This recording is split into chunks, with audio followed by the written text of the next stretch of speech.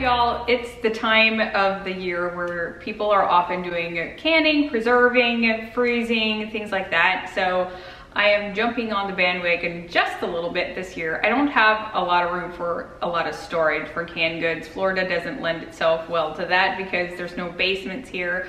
However, I do have room for a little bit and I was kind of in the mood to do it, so here we are. I'm going to be making some applesauce that and some green beans and possibly something else yet. I'm not sure what all the video is gonna hold, but I wanted to take you guys with me. So I'll talk about some things as the video progresses.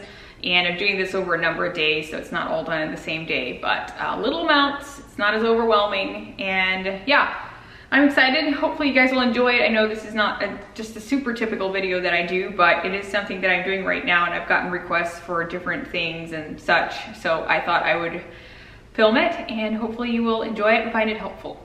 So mom is coming over this morning to help me do a little tiny batch of applesauce. I haven't done any in a really long time. We don't eat a whole lot, but I grew up eating applesauce with pretty much every meal, maybe not breakfast, but you get the point. So we used to do bushels of apples growing up, like once a year be a big apple day and we'd make a bunch of applesauce. And mom had the Victorio strainer that she uses for that makes it so easy. The only thing is here, I can't get the apples that I normally would have gotten in Ohio. So I just picked up like half a box of Golden Delicious. So I've got my apples here and I'm gonna quarter them and put them in water just so they don't turn brown before we're ready to cook them. You do not have to cut out any seeds or anything. That's the beauty of a Victorio strainer is it takes all of the gunk out for you. I love my little paring knives. These are Victorinox knives. They're serrated, which makes a huge difference. So I'll try to link these.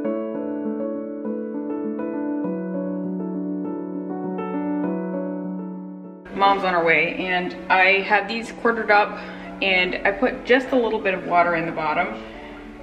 Don't put too much, otherwise it's gonna be super runny. And then you're just gonna cook them on the stove until they're soft.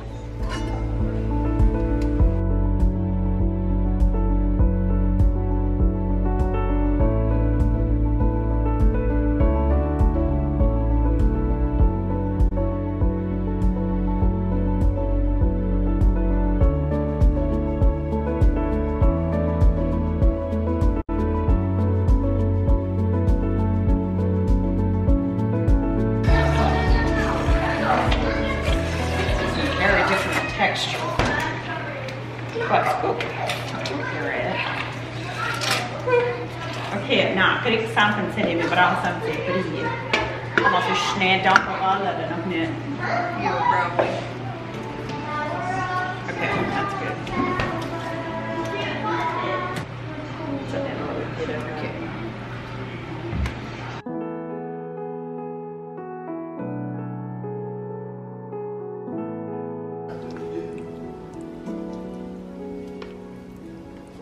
Gonna put some sugar in just to keep it from maybe turning brown. We weren't terribly familiar with how these apples were gonna be um, because we usually used, mom was saying we used ginger gold. It's a little sweeter than some of them, but they have a little bit of tartness too, which we always liked. The ginger gold, Yeah. you're saying, yeah. And they would turn out a lot, um, not near as thick. They'd be more and runny. Freeze it. So, but, so yeah, we're gonna can them, I think, because she wasn't sure how they would do frozen. It might be okay, but we're gonna just can them, even though it's a really small batch. Um, I think I'm gonna do them that way. I wanted to show you some lids that I'm gonna be using. Um, these are the Superb lids. I've actually shown them, I think once or so in my videos, maybe last year. Um, they came out with new boxes and things like that. It's a pretty new product.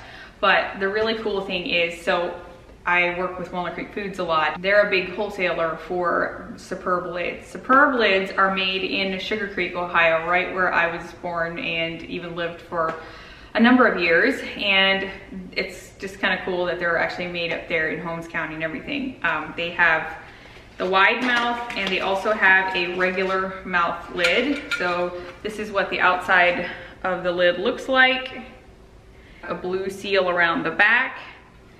There's, you know, just a little bit of a flex in the top. And I know sometimes it can be hard to find canning lids. So if you're needing some, I will have them linked below. I definitely think it's, you know, a great product and something that you can get. They're inexpensive. They're designed to prevent buckling, safe for high pressure canning, FDA compliant, BPA free, and they have more sealing power. They have five layers of corrosion protection and more vacuum and has the popping sound that ensures the seal.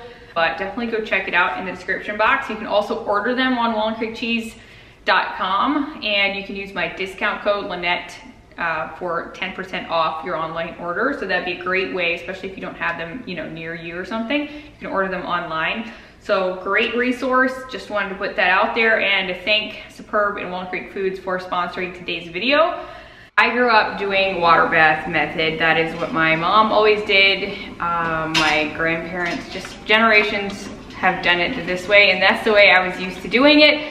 Um, but I just wanted to put this little disclaimer out there. I am not an expert. I do whatever you feel comfortable with. Do your own research. In other words, I am comfortable with what I am doing. I am also trying out a pressure canner for the first time. I know that there are definitely some things that have changed over the years and I am going to be doing some green beans. So you might be wondering why I'm doing more apples. Um, my grandma told me that she puts them through the blender more, more recently and I decided to give it a try and I'm hooked on it, you guys. So you do have to core them, like take the seeds out and the stems and everything.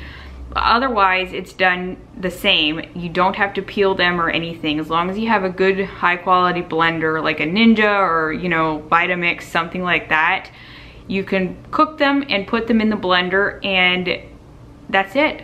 I, I am sold. And we grew up eating applesauce that is frozen. I like it slushy. And so this batch I put in freezer like pint containers and it was the easiest thing. I'm totally gonna be doing this, especially since I can only do like little batches at a time. So try this if you haven't. I'm sure the nutrients are better as well because you don't take the skin off or anything and it's all just blended up. You can see little flecks, but it's really not bad at all. So highly recommend this. So as I mentioned, I'm doing some green beans and I got my kids involved a little bit. That always helps.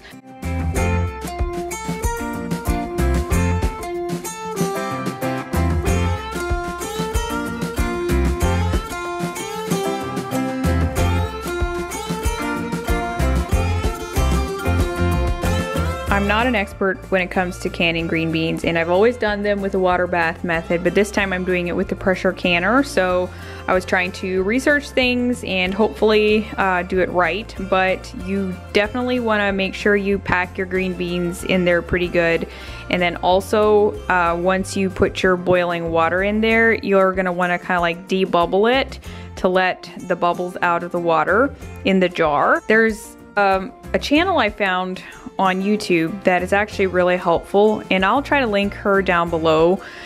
You can go ahead and watch her for a lot of information, but um, that's something that I was doing when I was, you know, trying to get information on things.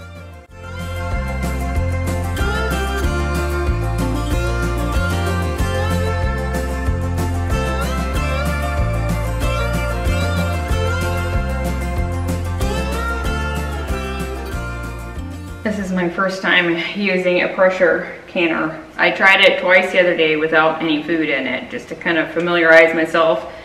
And I've been watching a lot of YouTube videos and things like that, so don't ask me for a tutorial though. I'm gonna leave that to the pros.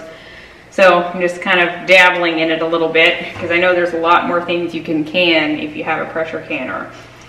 So we're gonna start with green beans and uh, hope for the best. It is harder, I think, to regulate with an electric stove, but that's pretty much all we have here in Florida because there's no natural gas. Unfortunately, I miss my gas stove so much. Um, so it's harder to control electric versus gas because it doesn't immediately, you know, calm down or pick up. So we're gonna try.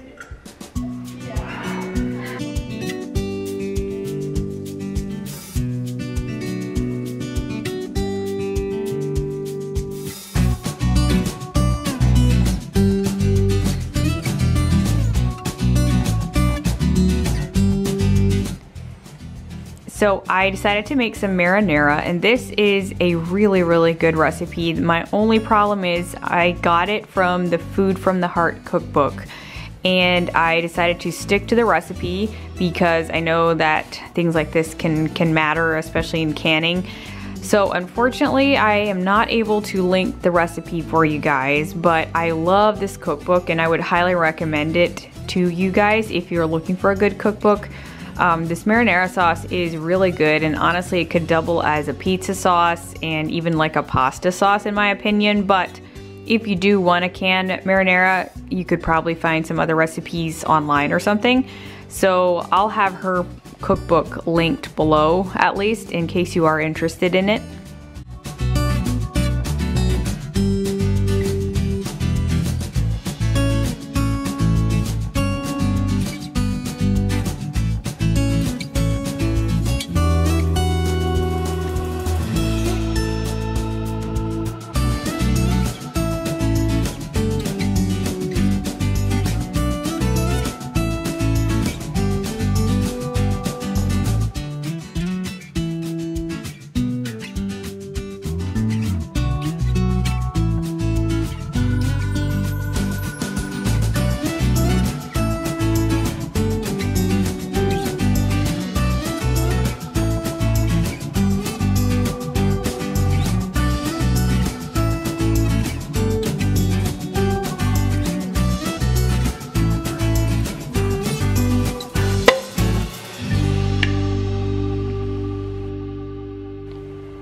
Next thing I'm making is grape pie filling and I had showed this last year but I'll show you quickly here. It's very easy to make. I have the recipe in the description box.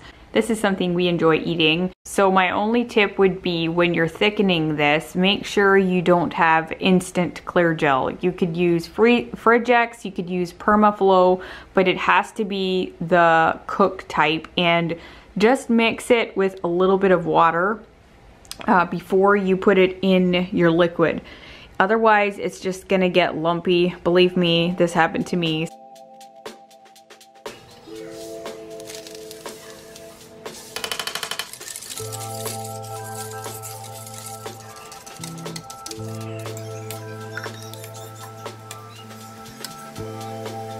So I put this in jars and it was hot, so I decided to have my water boiling when I put the jars in the water bath canner. That way it's all kind of the same temperature. So then I bring it back to a boil and let it cook for around 20 minutes.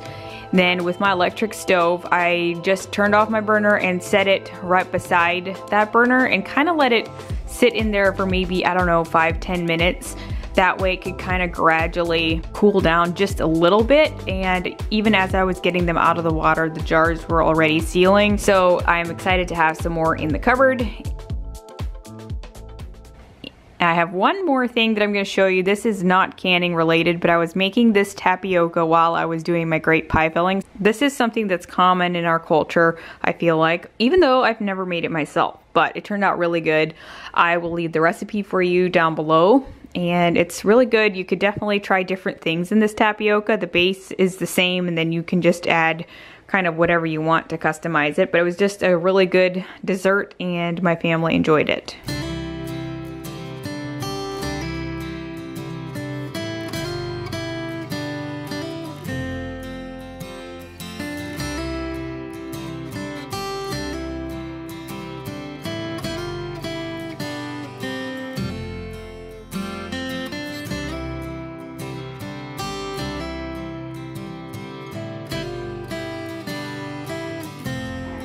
Can you say hi? So this is gonna conclude the end of the video. Pretty proud of my stuff that I have put away, even though they're just small amounts. And hopefully this gives you guys some motivation and just the ability to maybe try it. And it doesn't have to be a huge amount. It doesn't have to be intimidating. And I hope you guys enjoyed the video. Make sure you check out the description box for Superb Lids and also Walnut Creek Foods. I'll put that stuff in the description box. And if you order them through the Walnut Creek Cheese website, it's www.walnutcreekcheese.com. And then you can order the, those lids on there and use my code Lynette for 10% off your online order. That code will not work in stores, however, um, but it is kind of an incentive for those of you who are not able to get to the stores personally. So I'll leave that all down below, but uh, I hope you have a wonderful week ahead and may you all be blessed. Thank you so much for watching. I'll see you in my next one. Bye.